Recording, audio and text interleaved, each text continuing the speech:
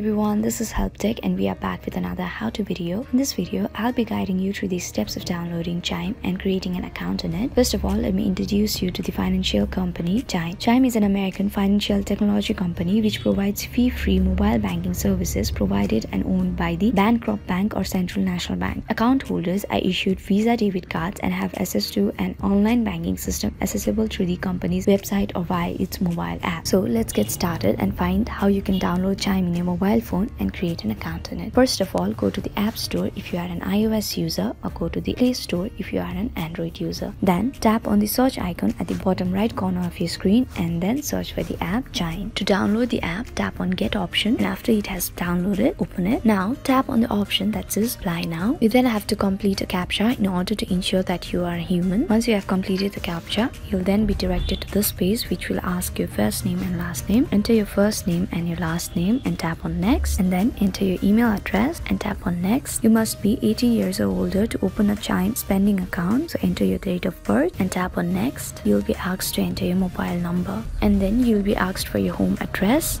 enter your home address and then provide other further details that will be asked by the app. Then you'll be able to create a chime account and access it using your mobile phone. Thank you so much guys for watching this video till the end. I hope you found this video to be helpful. If so please make sure to like leave a comment share and subscribe to our youtube channel Help Deck. We'll be back with more such videos.